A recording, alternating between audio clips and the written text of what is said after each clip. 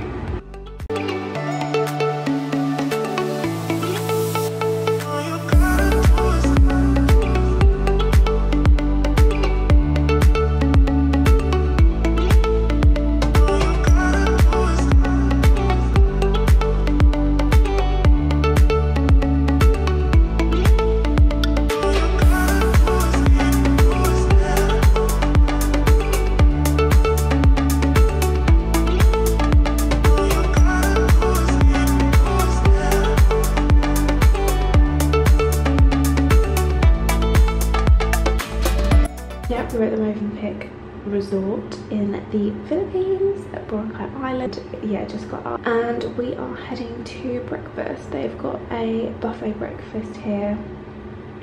And we've already been here a couple of days. I just haven't been filming, just been sort of relaxing. Anyway, I'll talk about it later. I'm half asleep. Yeah, we're gonna head to breakfast, get some coffee with me, some food. Gonna just try and do a workout a bit later. So I'm gonna try and like fuel my body a little bit um just eat some good nutritious food. But yeah go let's go do breakfast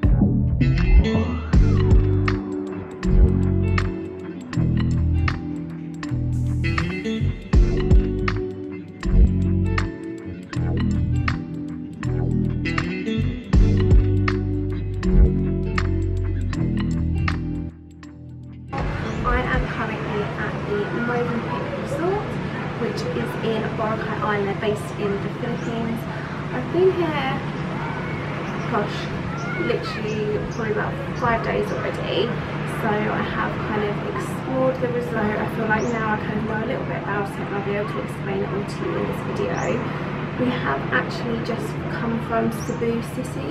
We spent five days in Cebu City and we stayed at the Marco Polo Resort. Our concierge service at the hotel actually helped us out with booking a whole tourist day and when we were there it was a festival called Sinulog. Basically happens the third Sunday in January and it so happened that we were actually in Cebu at this time.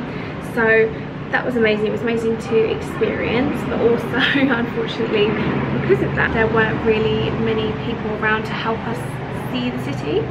So luckily our concierge, bless him, I can't believe that literally the best service I've ever experienced on his day off. So I think, no it wasn't even his day off, so he started his shift at three o'clock in the afternoon and he actually came with us at about 10 a.m. in the morning up until his shift and showed us all around the city and literally obviously we tipped him. He told us that he basically felt like the, the city was really really busy obviously with the Sinulog festival going on and he felt like he, we would have needed a guide to show us around and thank god he did because it was extremely busy. It was amazing learned a lot about sort of Magellan Magellan's cross and also about Lapu Lapu who is basically a local Filipino man and he basically helped against the resistance with the um, the Spanish coming over and his men actually killed Magellan when they tried to invade the city. So I'm kind of getting into my history a little bit more. I'm sure I didn't explain that very well.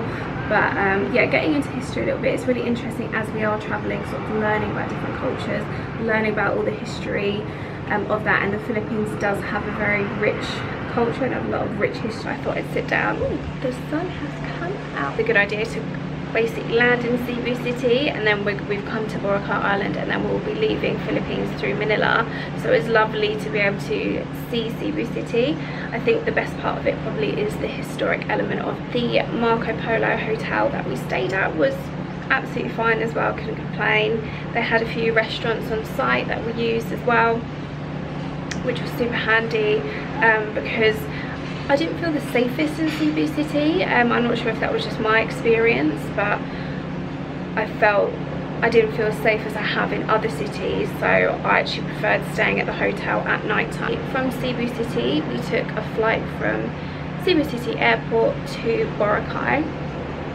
Literally the quickest flight I have ever been on in my life. Literally by the time we reached altitude, I think it was about, I think we counted it, it was about 10-15 minutes and then we started to drop again so that it was literally I think the whole flight was about 50 minutes 45 and it was nice because obviously you got to see all the islands around Philippines. That was lovely to view. And then we arrived at Boracay's airport is literally I don't know if you can even call it an airport. It's literally the smallest airport I've ever been in my life. It is basically just you know a few buildings. Um, and I think there was one other plane on the thing but of course that makes sense as this is an island. And then it was about a 10 minute drive from the airport to where the ports where the boats are. And then it was actually a really quick five minute journey on the boat. And then on the other side on actual Boracay Island it I think it was about a 30 minute car, car journey which was okay. I mean the roads here aren't great um, compared to Thailand, even Bali, um, the roads just very bumpy, not as well sort of developed. But nonetheless, it was absolutely fine getting here and then obviously checking into the Movenpick resort was absolutely fine. Obviously, we're really lucky here as we're staying in a resort for two whole weeks. I will stop rambling actually and I will actually come and show you around Movenpick instead of just talking to you here. But yeah, let me get my stuff together and then I will show you around the resort. This is our room. Excuse them. I think room service or cleaning. Oh my god, it's actually so messy. I think um, they're about to come and clean the room. To be honest, that is a massive plus size of plus side of being in a hotel rather than ourselves because I don't have to clean. So that's great.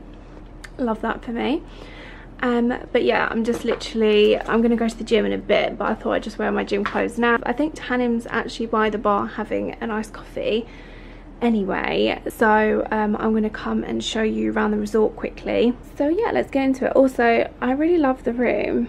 Wait let me just show you. Really cute coral design. I think that's cute. Yeah let's get into it. So this is where i walk through our apartment block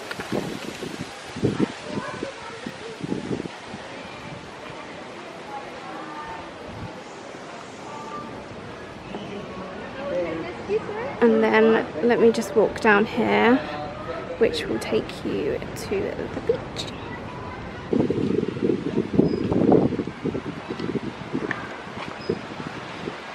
So here you have the beach with the sunbeds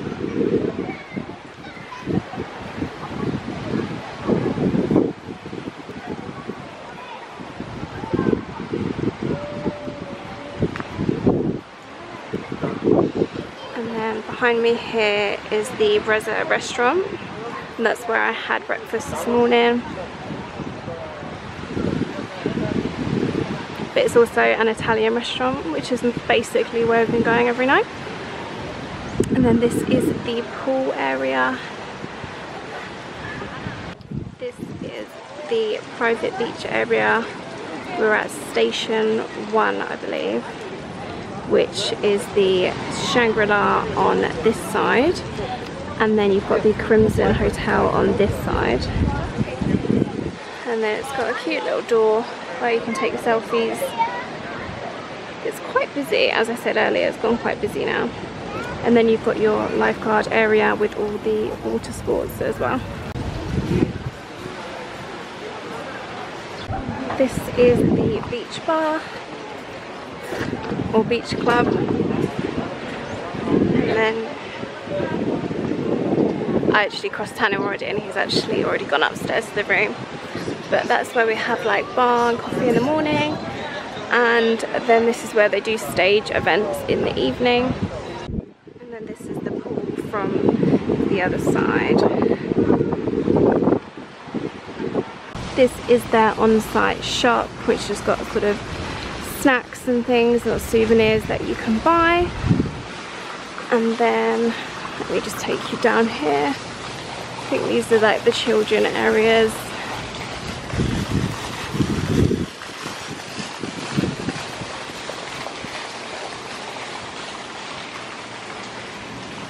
And then just up here, which I will be going in a minute, is the gym. This is the lobby area. To the left is the lobby. And then to the right is where the spa area is. Let me show you.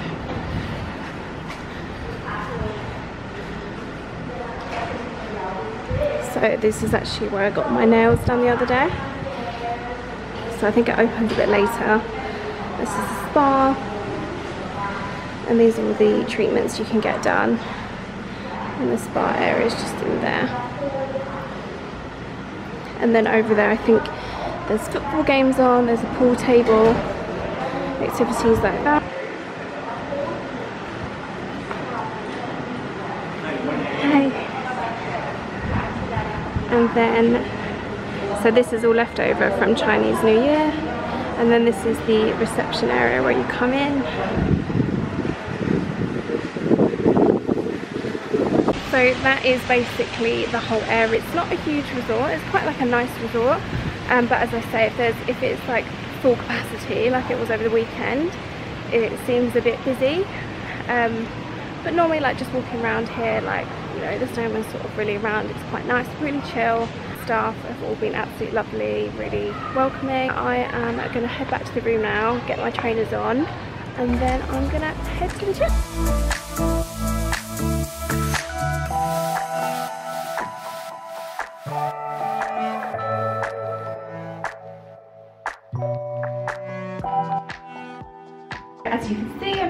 Just so I had the gym, we had a really good workout, got back, and then just had a shower, did my hair, did the Dyson, and then I'm wearing this really cute two-piece, I'm in the bathroom, that I got from a boutique in Phuket.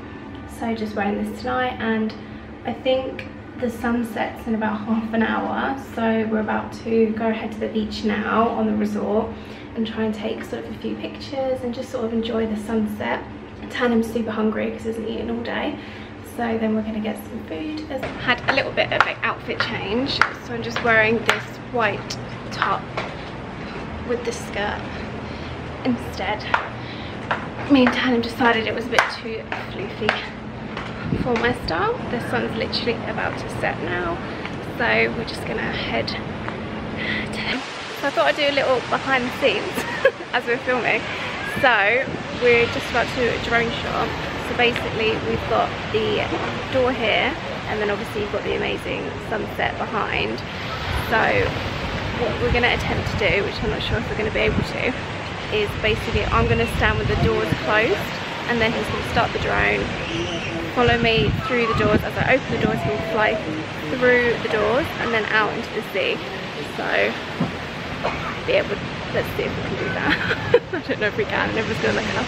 But let's see how it gets on.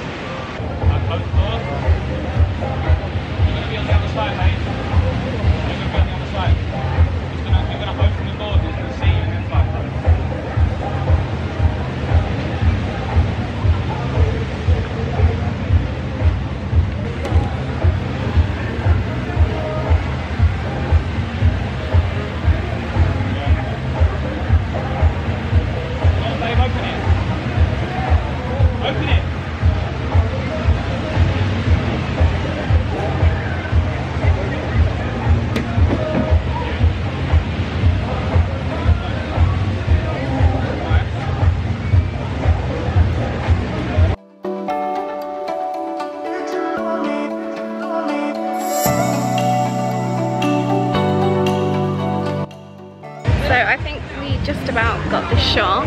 However, we it was a bit of a one take wonder as I don't know if you can see in the video that I'd posted before, basically the security guard came and told us we're not allowed to use a drone, even though we were using it earlier. I'm finding this a lot when we're going travelling, a lot of resorts just aren't letting you use drones, but I guess it's like because it films people's balconies, so I do get it, but he was being a bit rude apparently to Tanim. But we got the shot, so hopefully, I don't know how it's come out yet, but hopefully it's come out well. But yeah, we're just gonna get some food now and just enjoy the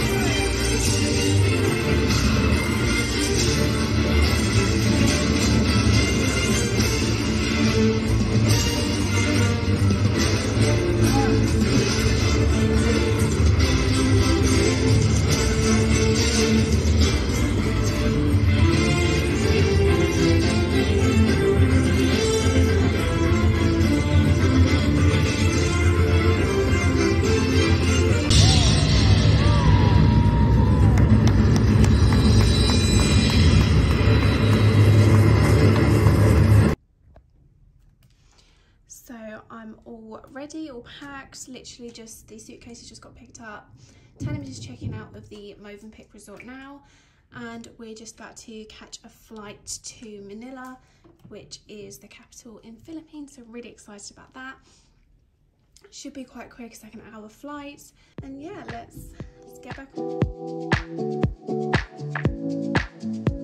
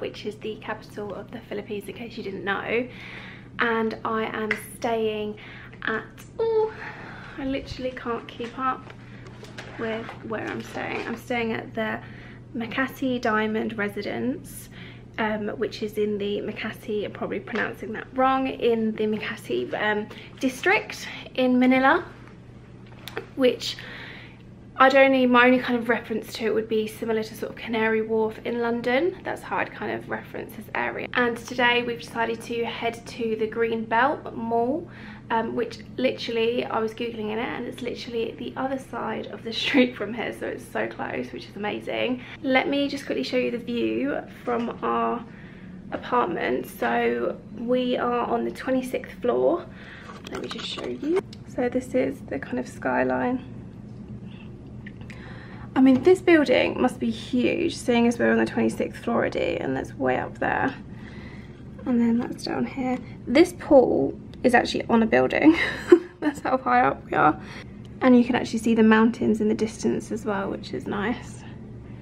Beautiful day in Manila. Let's hit the streets.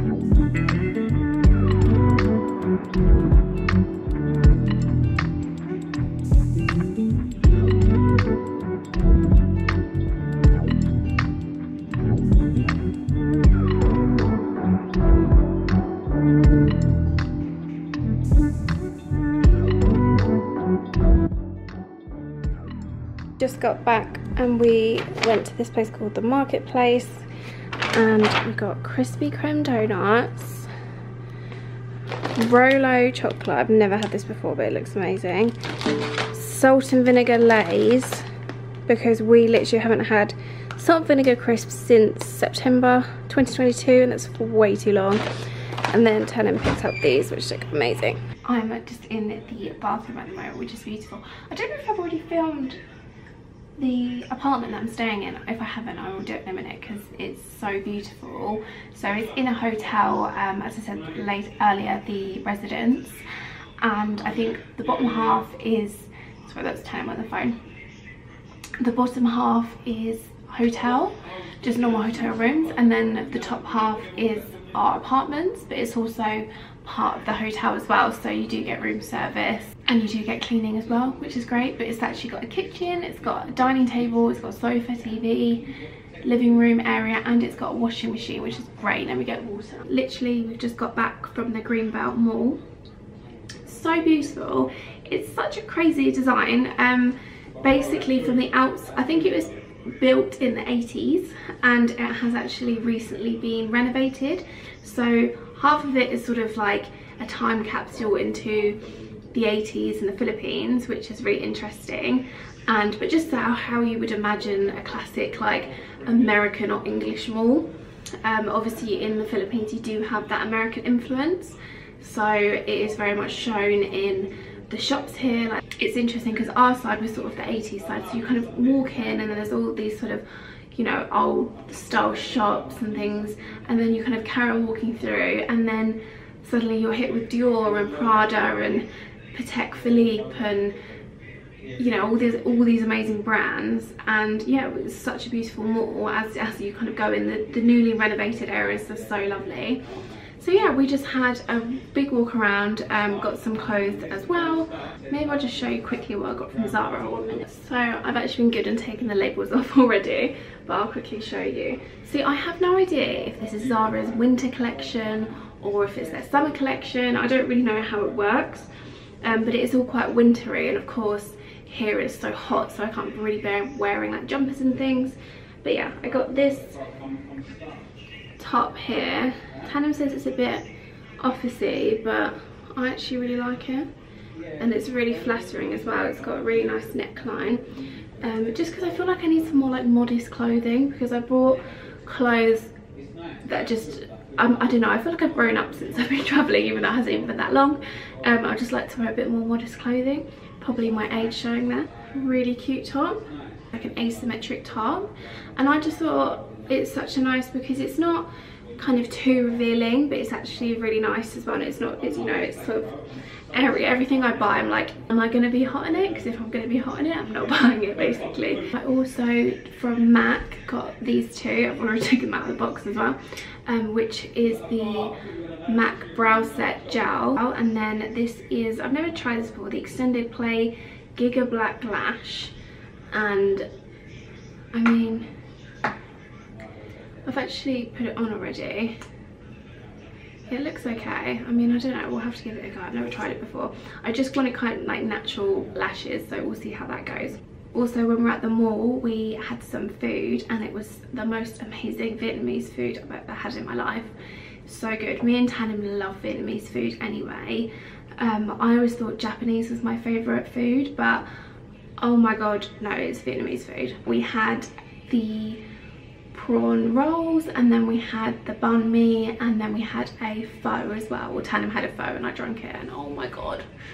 I can't even explain how good it was. I think it's potentially one of the best meals I've ever had in my life. I don't know what this is, but that I literally, it was amazing. I think we're actually, after what we plan to do tomorrow, um, we're actually going to go there for dinner because that's how much we like. So I'm just having a little look now and we, tomorrow we're getting up early we're gonna go and have some food at the hotel um, for breakfast and then come back up, get ready, and then we are heading to Rizal Park, um, which looks lovely. It's got like a little Japanese garden and uh, monuments and things like that. And then we are also going to go to the National Museum of Fine Arts. So very excited about that. It looks pretty cool. I mean, I'm definitely dragging Tanim along with this, but I think it's nice to kind of experience a bit of culture as well when you go on, the, on these trips. And then also, I always, not to get too like historical, it's nice to learn about obviously the culture and histories of these countries that you visit. Um, and then also, I find it really interesting to see paintings and artifacts and stuff from another country's point of view because obviously when you're so used to being in Europe or being in England or whatever country you're from you're so used to seeing wars and battles and things from your point of view.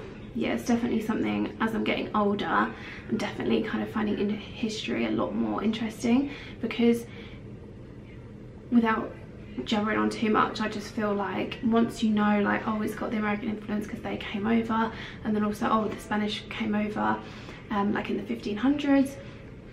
So then when you're looking around, you're like, oh, that's why Catholicism is here in the Philippines and they're not Hindus or, you know, Buddhists.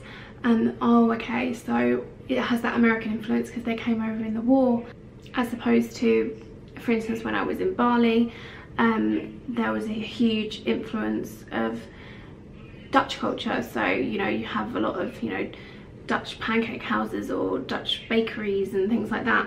Obviously makes sense because the Dutch colonised Indonesia, so that makes sense. But yeah, anyway, not to bore you. Uh, go chill out now, probably do a bit of editing, need to do a bit of work as well.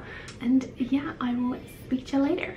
Good morning, everyone. It's about 10 a.m. now. We've already gone and had breakfast at the hotel. Really lovely breakfast. I had, what did I have? I had poached egg, on a muffin with smoked salmon which was lovely and a cappuccino. And now we are going to head to the National Museum. Tanim's still getting ready now but um, I think we're going to call a grab. I find when you're in the city or generally around Asia to be honest a grab is generally the best thing to use. Um, it's generally the cheapest as well so I think we're going to get a grab. I think it's only about a 20 minute drive. Let's go to the National Museum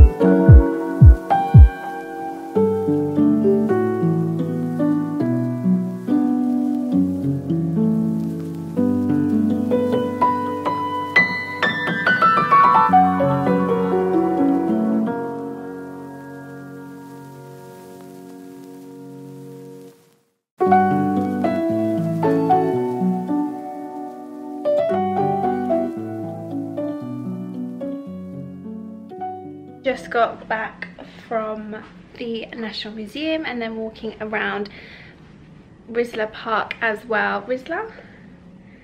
I think it's Risler, Risler Park as well. And yeah, it was really nice. It was really quiet. It was mainly just me and Tanim and then sort of a few um, school kids and stuff like that walking around the um, National Museum, the Portrait um, of Fine Arts Museum even. I really enjoyed it. I'm quite into my art, so that's probably why I find it more interesting than Tanim. But he was making me laugh, sort of walking around, making jokes about everything. Just to get some water, because I was so thirsty and I couldn't find water anywhere. Um, and then we are going to head back to the mall, our favourite place. Um, wants to get some lunch and I think I'll get a Starbucks as well.